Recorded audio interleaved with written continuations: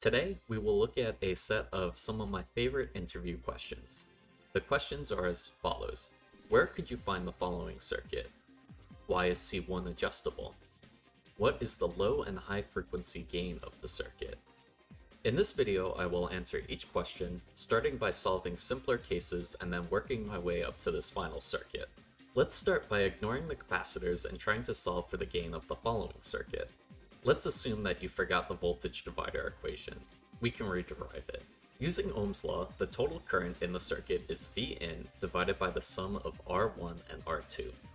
Again, using Ohm's law, the voltage drop across R2 is the current through R2 times the resistance of R2.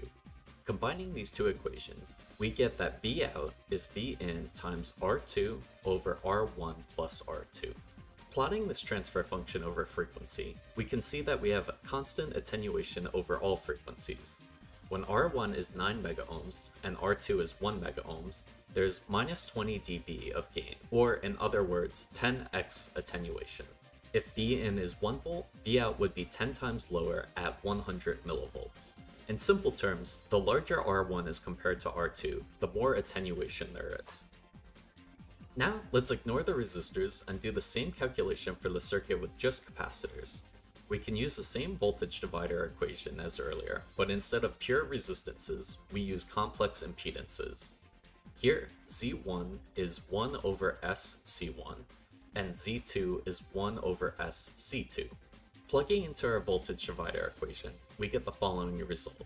We can use algebra to simplify, yielding V out equals V in times C1 over C1 plus C2.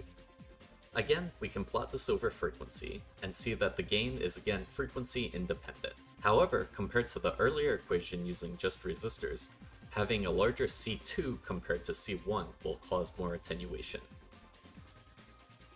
Now let's introduce one of the capacitors into the standard resistive divider we can use our voltage divider equation a third time, where Z1 is R1 and Z2 is the parallel combination of R2 and C1. Simplifying Z2 gives R2 over SC1 R2 plus 1. After plugging in Z1 and Z2 to the voltage divider equation and then simplifying, we get that Vout equals Vin times R2 over SC1 R1 R2 plus R1 plus R2. Now we have some frequency dependent gain. When we plot the gain, we can see that we have constant attenuation at low frequencies, and then a first order roll off at high frequencies. The larger C1 is, the lower the cutoff frequency.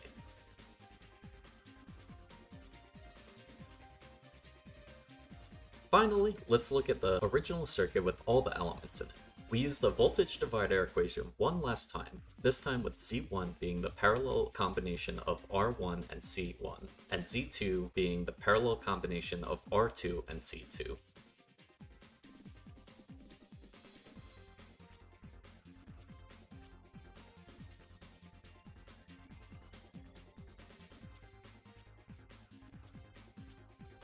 Following the algebra, we get the final result of V out equals V in times SC1 R1 R2 plus R2 all over SR1 R2 times C1 plus C2 plus R1 plus R2. Notice what happens when we set S equals 0. We get the same gain as we did when we had just the resistors. This makes sense, as at low frequencies, the capacitors have a very high impedance compared to the resistors, so the parallel combination can be approximated as just the resistance. Likewise, for S approaching infinity, now we are left with the gain we got for the purely capacitive circuit. This time, the capacitor impedances are very small compared to the resistor impedances, therefore the parallel impedance is approximately the capacitor impedance. In simple terms, at low frequencies, the resistor values set the gain, and at high frequencies, the capacitor values set the gain. If the attenuation factors are mismatched, there is shelf filter behavior, where there are different gains for high and low frequency. But if the attenuation factors are matched, the attenuation is again constant over frequency. Why is this attenuation being constant over frequency important? Well, imagine you are measuring a signal and you want to plot its value over time. If the measurement circuit attenuates high frequencies, you are not recording the true content of your signal. If all frequencies are attenuated the same, you can apply a simple gain to the output to reconstruct the original signal. If you didn't guess it yet, this signal is a simplified view of a passive 10x oscilloscope probe. Now you may ask, why even have the capacitors in the first place? If you had just the resistors, there is no high frequency roll-off.